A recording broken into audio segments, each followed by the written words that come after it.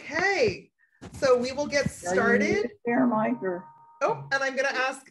Thank, uh, thank you for for that little interruption. I'm going to ask everyone who has not already muted themselves to please mute yourself.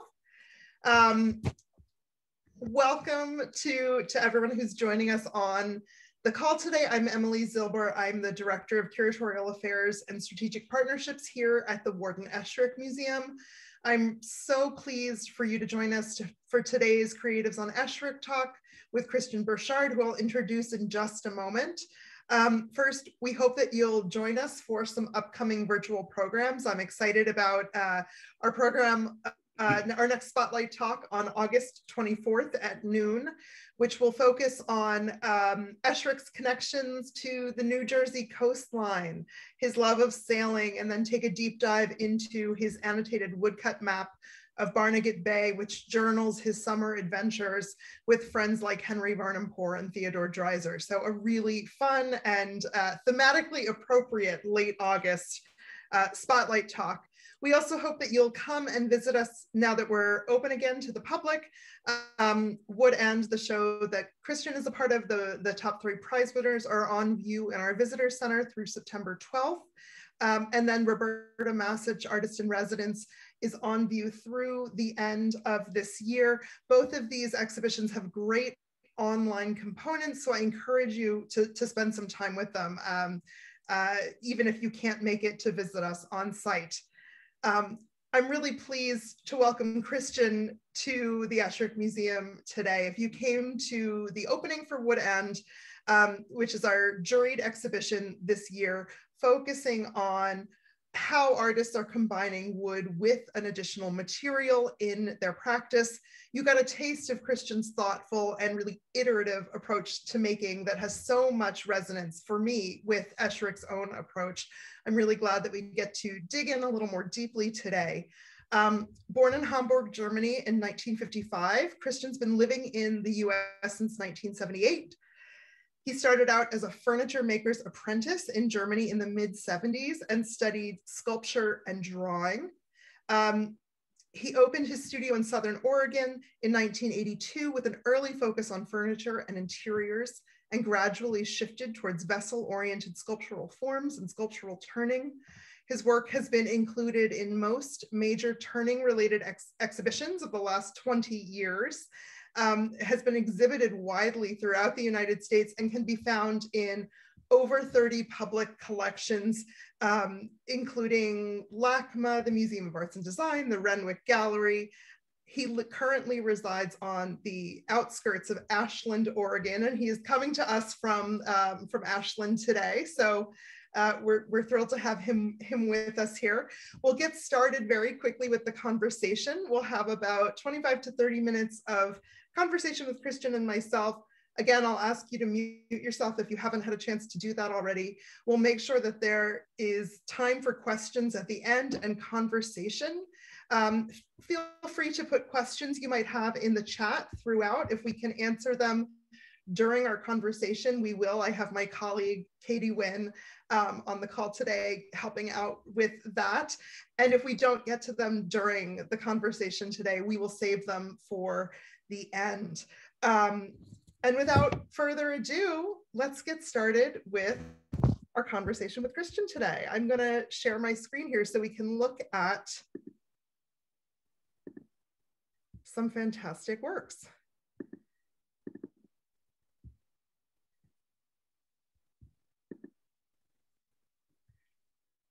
So welcome, Christian. We're happy to have you here. Can Christian hear me? Yes. Hi, Emily. Okay. I do. Happy to have you here today. Um, well, thank for, you for inviting me. Oh, absolutely. Um, first, I want to offer you my congratulations on winning the second prize in this year's juried exhibition.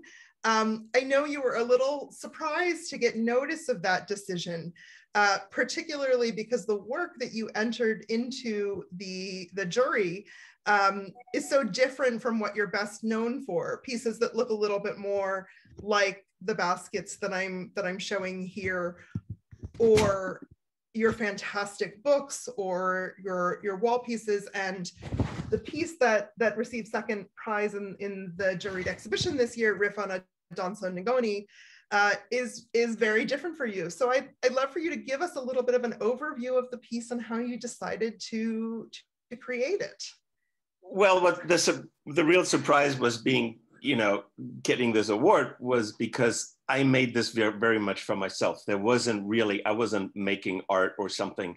I was just, I had started to learn um, how to put a stick into a hollow form, put a skin on it, and then put some strings on it. And fascinated uh, with what, what happens when you do that. And so for a few years, experimented, learned a little bit more. I'm very lucky to have a friend who's an instrument builder.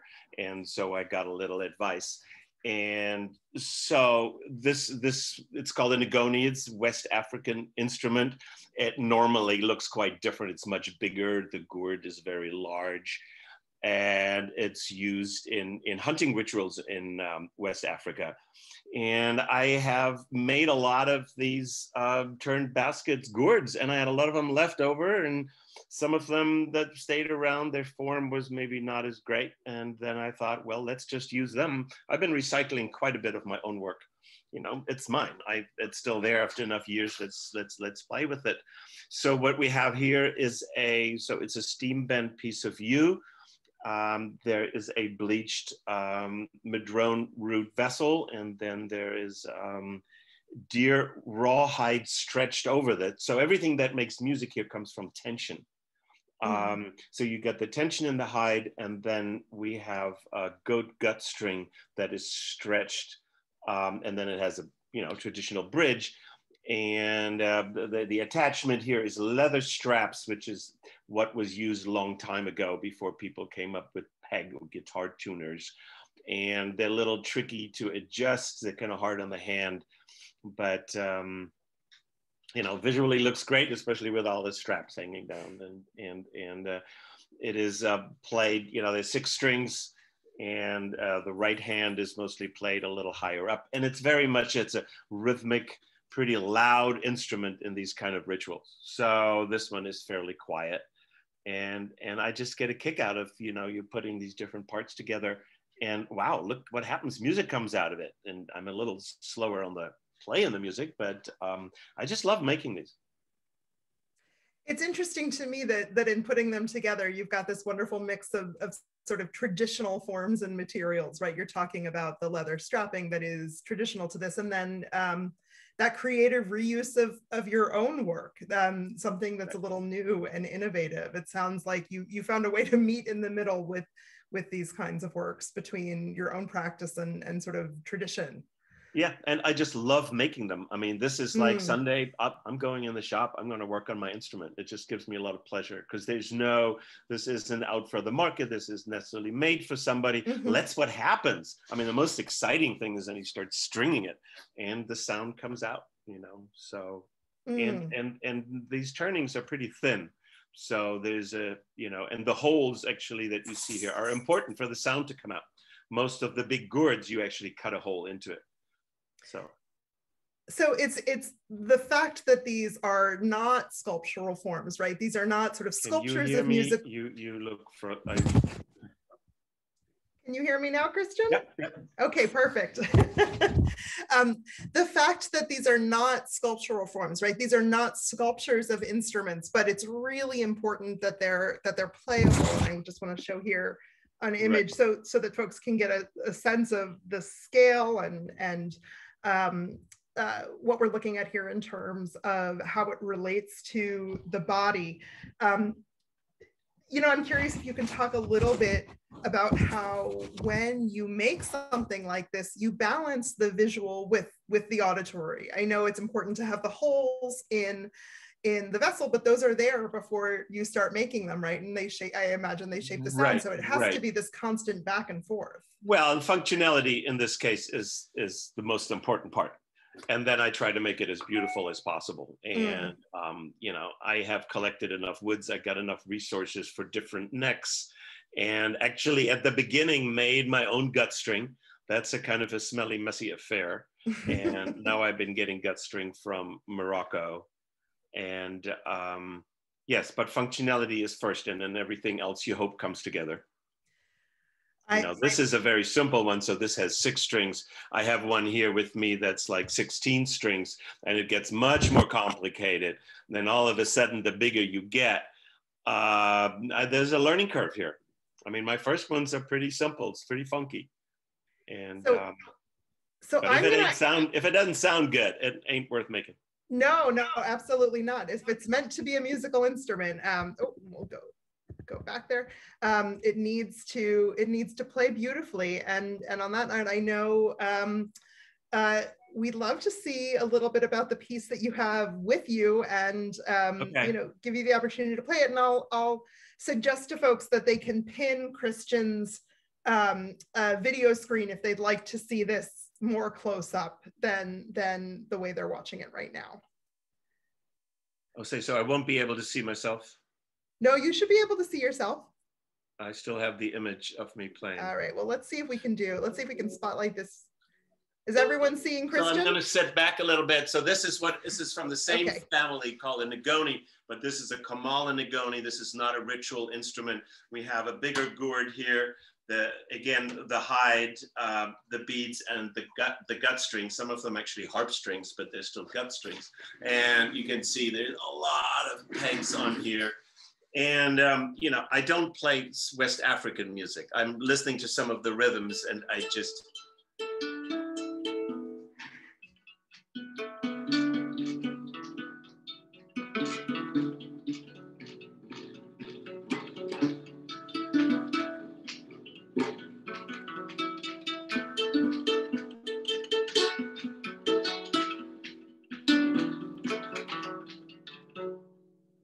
there's lots of music like this out on, on, on YouTube. I listen and I try to, to learn by just listening and pick things up. Um, it kind of fits, it fits, there's 16 strings and you can, you can play with them and, and, and create rhythm. I think it's what it's, I think it's what's called a, yeah, there's different names for it because you do create the rhythm at the same time as you, as you play it. And, um, I'm actually got three more happening in my studio right now, and one of them is more in the direction of um, um, oh, brain went like a larger 21 string kora, and all mm. of a hmm. sudden there's lots of rules. So all of a sudden I'm going, okay, I got to pay a little bit more attention, and I love the learning part of it. I love the learning part of it, and and and the process is slow. I'm in no rush. So, so that's interesting to me that you've been you've been spending some time watching videos, sort of getting a sense of of the music, but you're not. Are you playing particular compositions? Are you are you do you think about playing as writing your own, or is it really just? Well, I'm just intuitive kind of for my fingers to find the strings, and, yeah. and I learn. I listen to some now compositions. That's a long ways away. Something like. that. no, I'm and I've you know I I am not very musically talented. I mean, I love the rhythm and I try to find a groove. And sometimes certain evenings it just takes off by itself. So it's very loose. And it's fun. I have a few instruments, so I've played with a few friends together. And you know, somebody holds a kind of a bass, bass rhythm, and then you go off and and and come back and forth. So no, no written notes. And do you find that you you make decisions about what kind of instrument you're going to ba- make next based on the available um, uh, sort of bowls that you have how do you how do you Oh, do you decide you want to make a certain kind of instrument and then you make it, or, or do you go and you're and you're sort of spending time and saying, "Oh, this is a great I, piece." I love yeah. this kind of music, and so I've been really interested in um, music and throat singing and music from South Siberia. And I've been there mm. a couple of times and I've made those instruments and actually brought some back.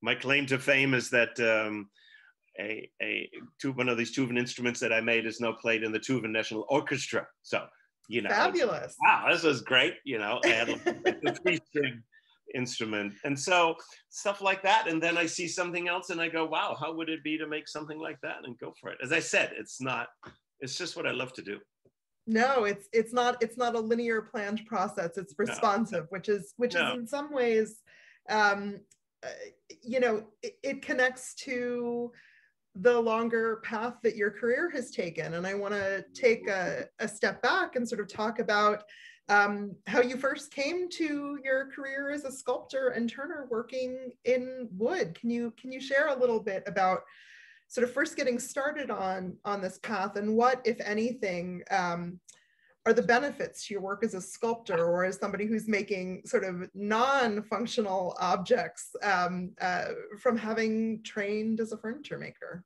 Well, I come from a, fa- I mean, I don't think my father barely knew how to use a hammer. I mean, yeah, I, you know, he worked in a bank. I was supposed to do this, and um, I I left uh, right out of high school and traveled, lived in Australia, and then traveled back through Asia overland from Australia to to Germany with a friend and we both decided that we wanted to keep traveling and we wanted to have a profession that we can do anywhere in the world and mm. work with our hands and we both apprenticed and i became a journeyman furniture maker and kept that going and then i did refinishing i mean i did um, restoration and then it also got into building and we get into that later timber frame framing and, and stuff like that and so i can do dovetails i can do just saying that flat, straight, perfect. You know, I, I've done that.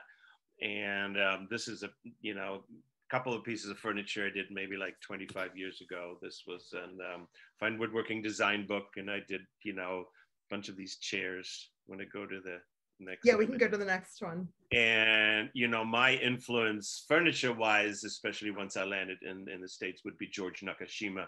And you mm-hmm. can see that here. This table i just pulled it out as an image because it had so many different things that i was trying in there. You know the simple the understructures with all the lacing and the tying and then i got into spheres so there's a sphere in there.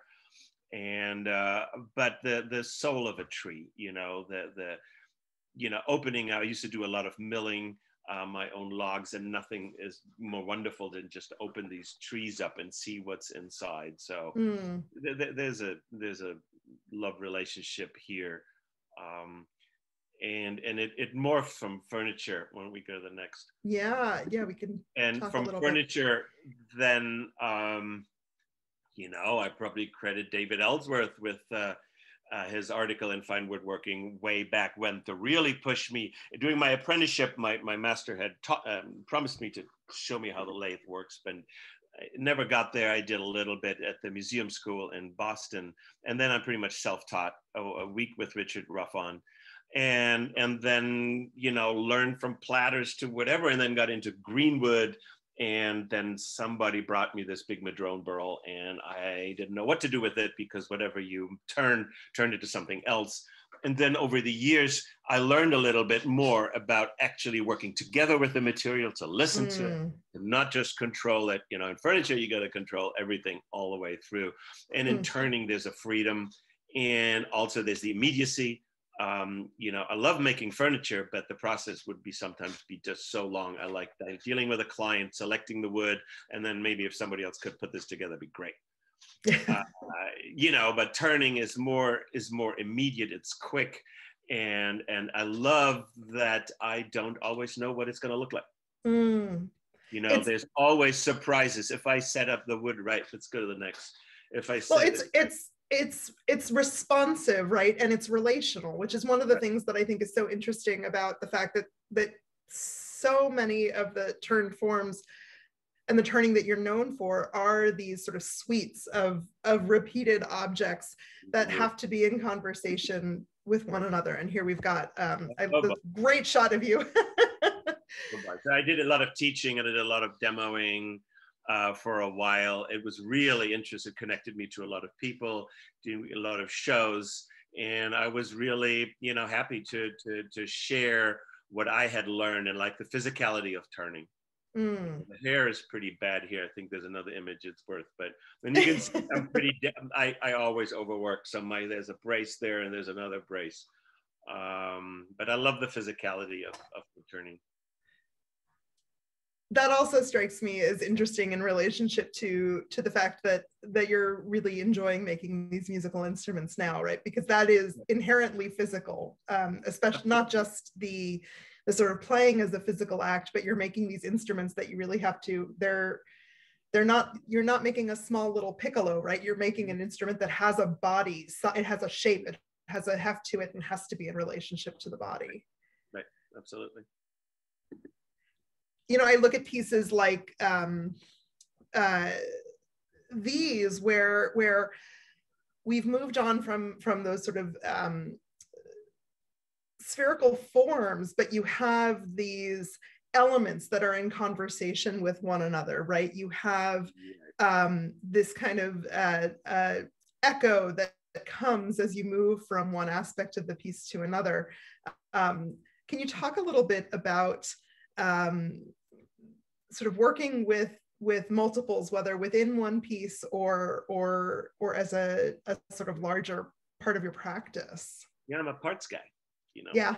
Lots of parts and i've always done that and I, I i i enjoy that. So especially with working with green madrone which is very unpredictable mm. you don't really know what the piece is going to look like. So you might as well make a few more as you as you go and there's a certain amount of waste maybe 30 40% of times of the work that i do won't won't be finished it's great firewood and i what i do i always also try new things out. And so that creates a certain kind of failure rate. Mm. And I have accepted that.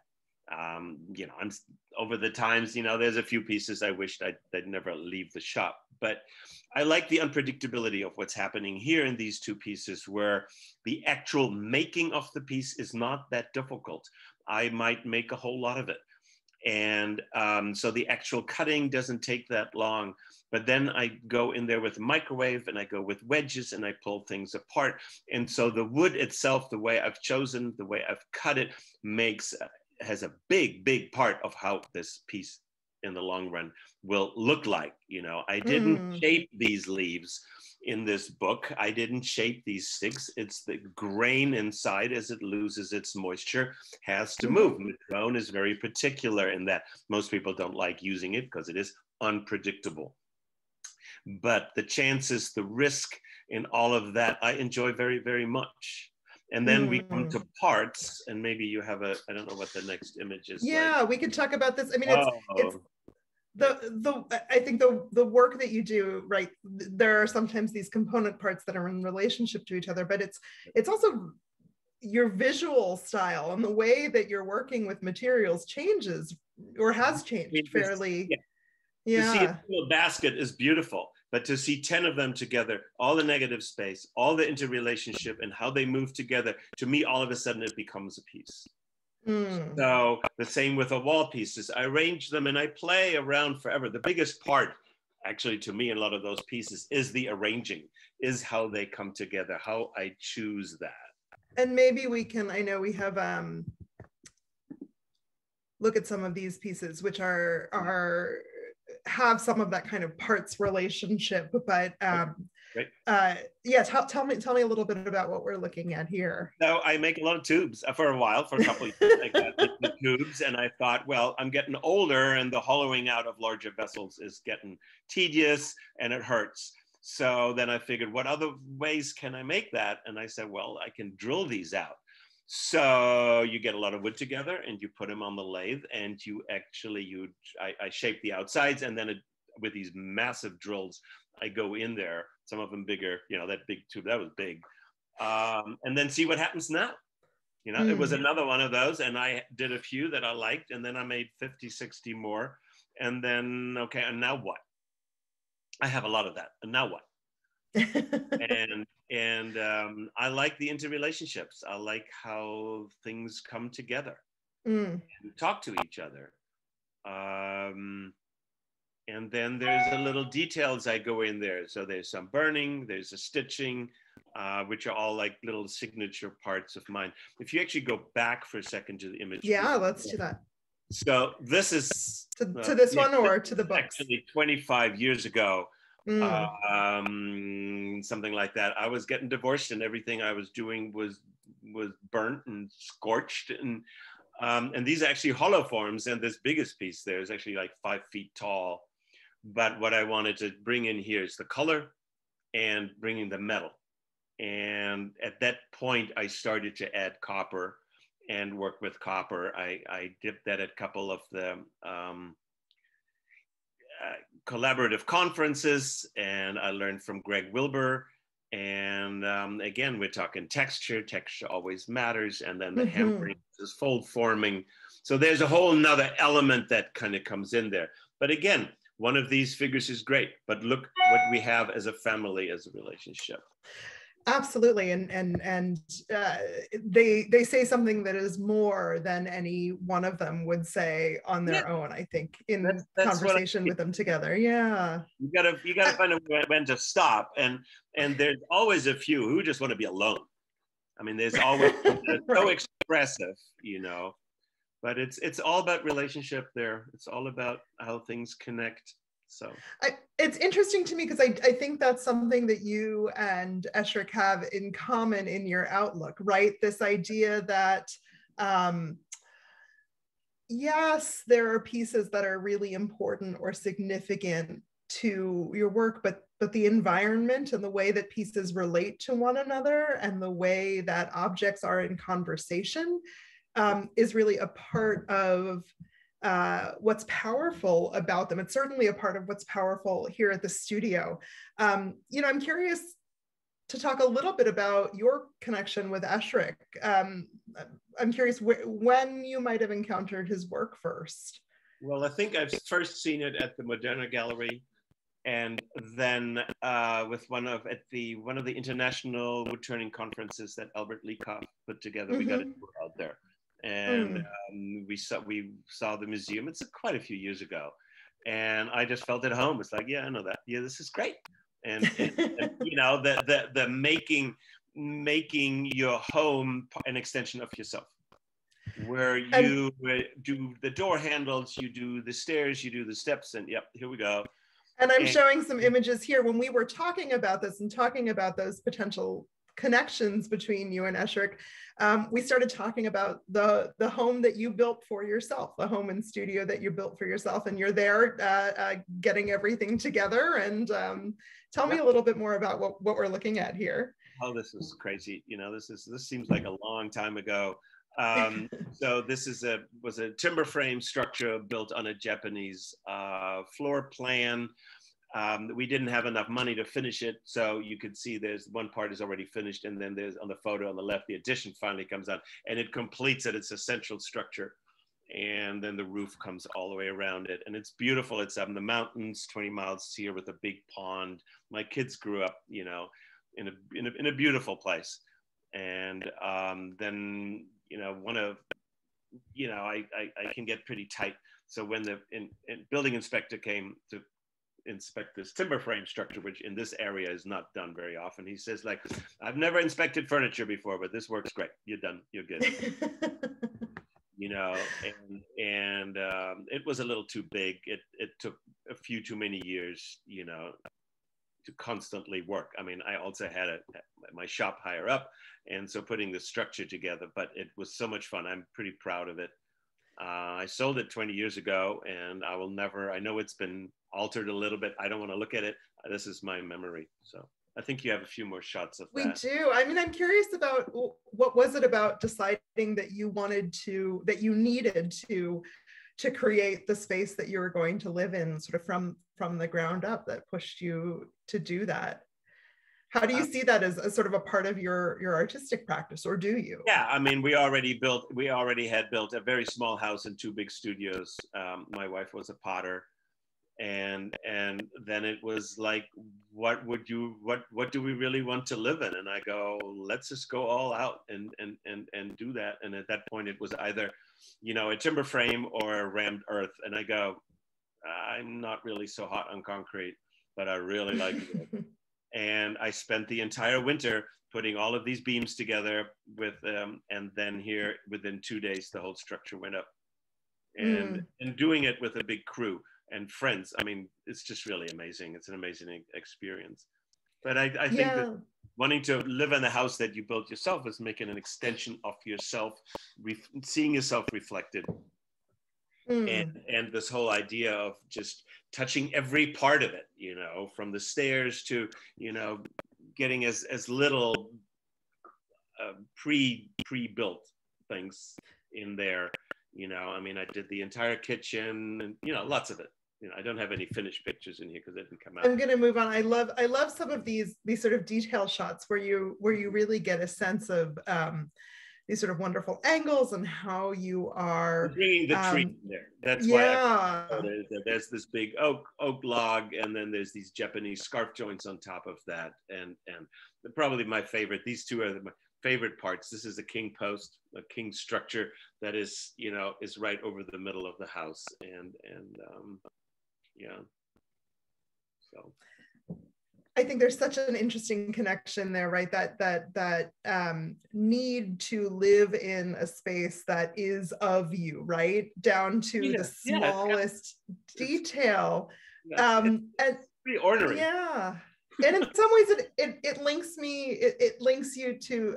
I, I think about Esherick's sort of overall practice is being really interest driven, right? If there was something that excited him, if there was something that he felt like he wanted to investigate, um, whether it was architecture or furniture or, or sculpture or printmaking, um, being able to, to have that kind of interest driven um, rather than formal or material driven um, uh, artistic life it strikes me that that you and Esherick both have that kind of sensibility. Can you talk a little about that? Well, it's a it's a pretty pretty personal thing, and and it it has to do with not not enjoying to stand still. Mm.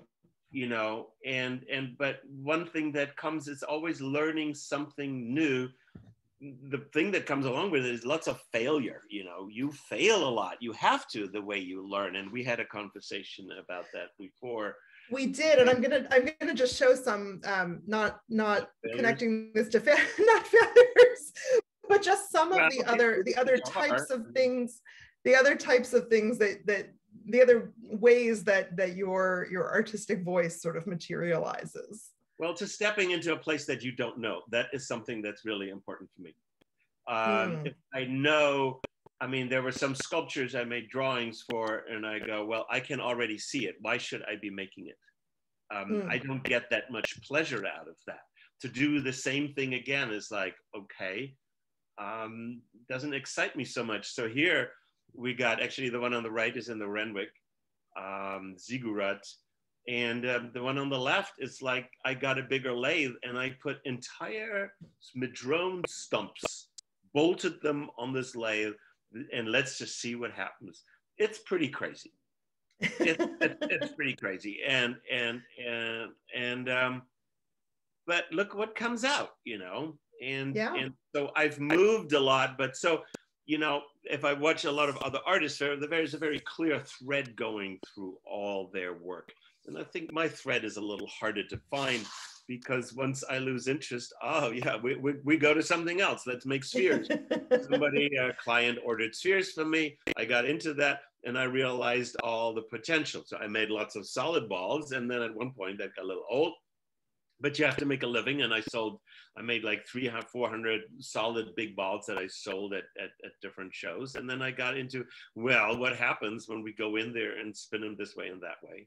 And and then another thing was collaborations i have to admit i forget mm-hmm. who this is with but um, i made a lot of baskets and it shows got to know a lot of other artists and they were like wow can we do this kind of together and that always mm. is a mm. great kick when you see like what somebody else interprets um, your your know your your work with um, well, it gives you a new, a new way into seeing your own work i'm sure right right yeah so I mean, again, I'm, I'm looking at at more sort of pieces here where you've you've done that kind of material combination and then there's something that is sort of quintessentially you about this but also it's totally different than than other other series and and and pieces that you've done that we've looked at earlier. I got a lot of i got a lot of people making fun of me for these vehicles. I made a lot of vehicles. I had a blast they were so funny. Kids were growing. Know, everything in this house was about cars, you know, as little cars, and they get older, then they buy a car, fix a car, or something.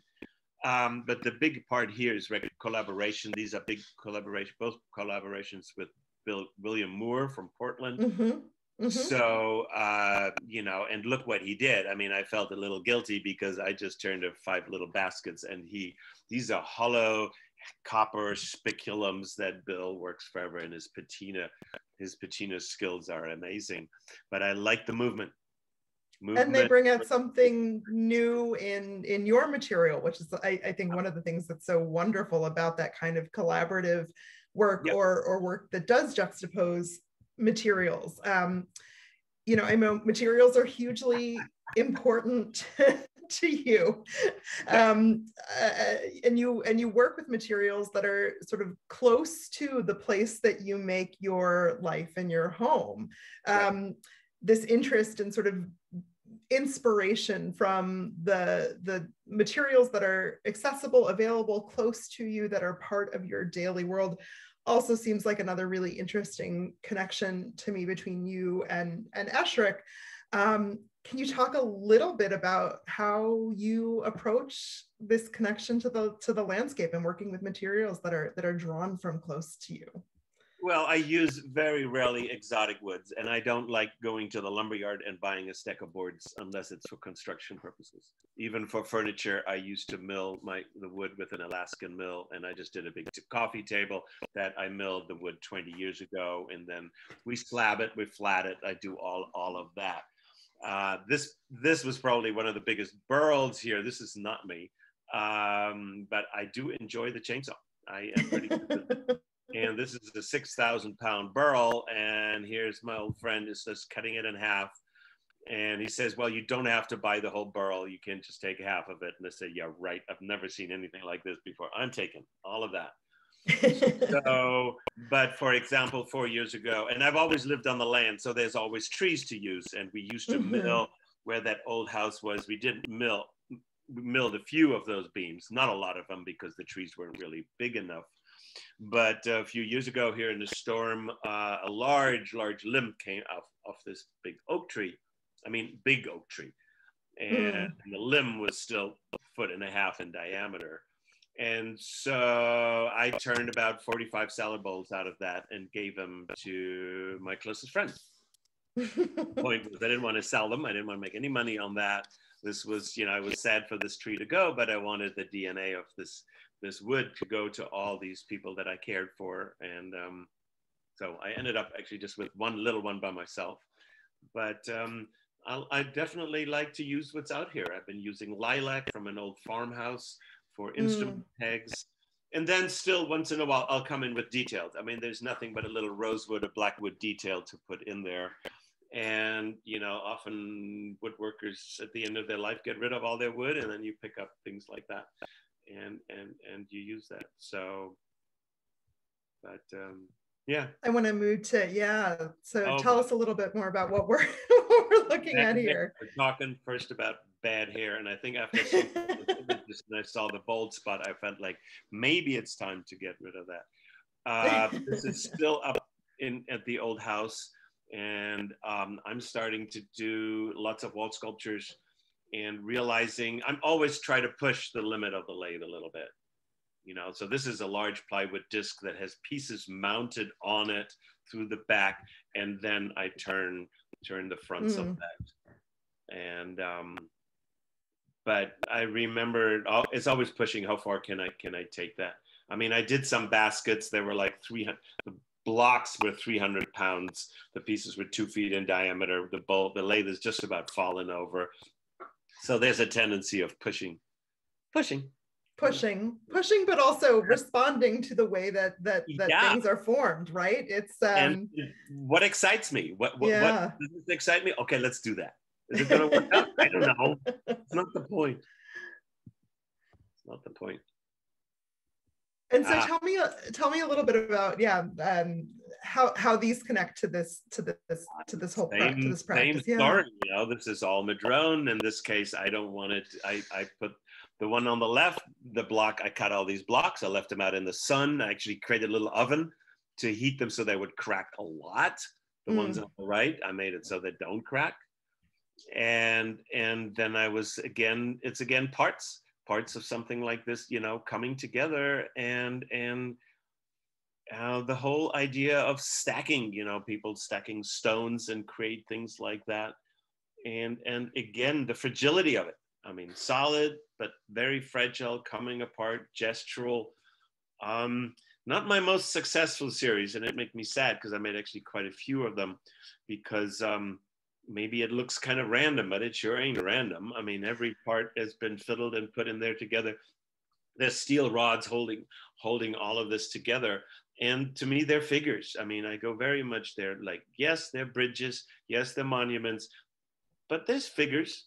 They're yeah. still spinning. You know, they've been through a lot, and and um, so it's a little bit about life. You know, you go through a lot, and you get beat up and cracked, and you still stand, and that's what makes you beautiful you know mm. so i'm you, you notice i'm not into shiny polished woods. I don't use a lot of sandpaper. And i actually have found very few woodworkers who love using sandpaper. But yeah. it's acceptable and if it's functional of course you have to. Uh, but these are not functional. So it's all about the tool marks. Oh yes. I want to move on to these too because i'm thinking about the body i'm thinking about figures and these pieces always you know have that that strong connection um, uh, to me when i when i see them yeah, so the one on the right, um, actually, I got an award, the Society of Contemporary Craft in Pittsburgh. And, and um, so there's another picture shows it this a little earlier, but these are thin eighth inch slices taken off you know the one on, on the right is actually take off that big piece where you see the guy with a chainsaw cutting that mm-hmm. big That mm-hmm. is from that so we cut them on a bandsaw mill and um, absolutely no idea what's going to happen. and then you dry them slowly. Mm. And of course, when they're all cut from the same block, they have similar textures, they have similar movement. And to put that together here, the early ones were just in squares, but we already, you know, just like one side by side. But I think there was an earlier image where I overlap and play together. I don't use them necessarily from the same block and then I use, I do a lot of sandblasting and a fair amount of bleaching. Yes, this is, the wood in these is absolutely gorgeous. The colors are great, mm. but I was into the form, the movement, the texture on the surface. So by bleaching with hydrogen peroxide, you take the color out and you get, you take, it's like black and white photography, mm. where, you know, a black and white portrait is often much more interesting than I think than a color one because you look at much more of the details, you see the bigger picture and and here so i mean you know they're they're figures. They're, they're no you get you, and, you get that high contrast right? And you have to pay attention to form because of, of what you've done. And I, and I think it's interesting to look at that compared to what we're looking at here right? So this is when they first get cut. I mm-hmm. i don't force them. I don't put them into shape. This is in in in, in the garage and I'll just see what happens. And when the cat gets in, they all fall over and you put them all back together. And that happened more than once because then they out and it all falls and then you stick it back up. But I don't want to interfere with the grain structure shaping the individual panels. Yeah. So unless some of them curl up and do something weird, then you can just soak them back in water and put it between clamps. And mm. you can mm. do a little bit of that. Sometimes, you know, but this is, so this is the color, totally green cut. This is uh, the original wood color, really with water in it. And if you put, would dry them and put a finish on it, you would get the same colors back. So I just removed that color it's wonderful to see the process but also to see even in even in this this shot you're looking at something relational right? You're looking at at how these things are in conversation with another with one another even in in, in how they are um, in the middle of the process. I want to make sure that we have time for for some questions. So so if you don't mind i want to move um, a little forward. You are lucky enough to be represented in um, hmm. the Wood And exhibition, not once but twice. the second yeah. time for a collaboration um, uh, that you've done. And so I'm wondering if you, we talked a little bit before about the sort of importance of collaborative work and collaboration in, in what you do. Um, you know, I'm curious if you can talk about these collaborative pieces and, and also how engaging with other artists inspires you in the work that you're doing. Okay, so this is an extreme case because this is, you know, collaboration with Christy Kuhn, and yep. we all live together. This is my sweetheart. So that is amazing to be able to work together like that. And then it, uh, this happened pretty early in our relationship that we found, wow, we, we can connect these things. uh, our pieces together, and we have a very, very close sensibilities. Um, but we don't work together on the pieces at the same time. There's decisions being made and then you pass it on. Decisions being made and pass it on, which is very important to keep, to not get it kind of fuzzy in there. But um, so Christy is a felt artist doing sculptural felt and um, I actually some of these this piece here was something I had turned a long time ago, and it ended up in the attic. I didn't know what to do with it. Where what what you know? It's this big disc. It's nearly two feet in diameter. It was difficult to make. I'll never do it again. And um, but then it became what it always wanted to be: a nesting, a holding, a holding kind of thing. Mm. And so this is a wall piece, and I think we have a few more images. We do. We have one then, one more, uh, two more collaborative pieces. Yeah, look at that. I mean, I, I, I am in love with these pieces, and quite a bit of more work in in in process. Christy does a lot of large wall installations, and then in between she has time uh, to put these together. And and um, I am continually fascinated about how this how well this really works together and it's these shell forms and and there's life there's life in there and um, there will be a lot lot more of that in the future i can see that happening so the other collaborations i did earlier would be at Emma conferences mm-hmm. and um, now frogwood in portland which opened me up especially to the metalwork where because you have for seven days you have 150 artists at Emma coming together. You've got as many studios materials tools what you want plenty of beer and you just make. And i always chose to go to things that i didn't know and to learn and as i said I've especially learned from greg wilbur a lot of the metal smithing and mm. hammering i haven't i just got new stakes and things but it, it hurts unfortunately my hand uh, the hammering part so we'll, we'll, we'll see what comes for it. I can even see some green patina metal in here somewhere, but who knows?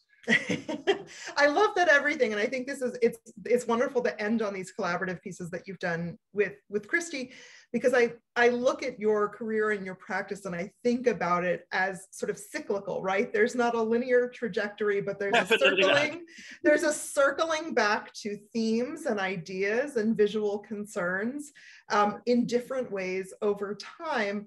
And again, I think um, that kind of a practice is is so connected to, to, to Esherick's own. So I want to really thank you for, for sharing so much of, of yourself and what you do with, with us today. I want to make sure that um, we have time for, for any questions that folks might have for Christian. Um, and so if you would like to, you're, we're, uh, you can unmute yourself and, and ask or put those in, in the chat.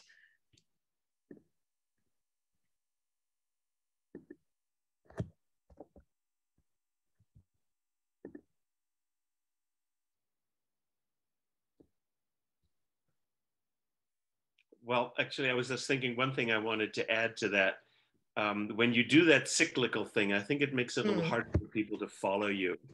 And I don't think it necessarily helped my career because it goes, oh my God, Christian is up to something else. And uh, and people missing a, a, a, center. But yeah, the center is there. It's just there is. I, I like what you're saying about circular because I would always come back and I would find something that you know then I go back to and and start up again. And now, having a fairly good collection of my own work, I sometimes pull pieces out and go, all right, I know what to do with you. I'm going to cut you to pieces, and I make this and that, and have the freedom to do that. well and it, and it and it sometimes makes magical results like the yeah. the instruments and yeah. and we're so excited um i'm so excited to see to see where where those go um they are at once so different from from everything else that you do but also make so much sense in terms of the ideas the themes that that have seemed to excite you in a variety of different ways throughout um, throughout your your career and it's and it's really wonderful to watch.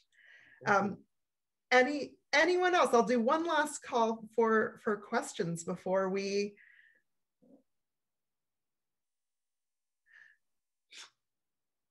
oh, we've got a, a thank you from from from sandy for sharing the process. It was great to to hear so much about your process. I agree. Um, well, I hope that that people will spend some time with. Um, we have some wonderful videos of Christian playing the piece on the Wood And website. Um, we can send out a link to that in the follow up for this conversation. And I'm so grateful to Christian for sharing so much of himself, his practice, and the way that he approaches um, art making with us today. And I want to thank everyone for for being here and spending um, spending some time this afternoon with us. We typically, as we're saying goodbye after a program like this, um, uh, unmute ourselves. Just you know, give a give a quick goodbye before heading out. Um, uh, we're we're so thankful for you being here. We hope that we'll see you on on future programs. Thank you. Thanks, Kristen. Thank you for. Thank you. Well.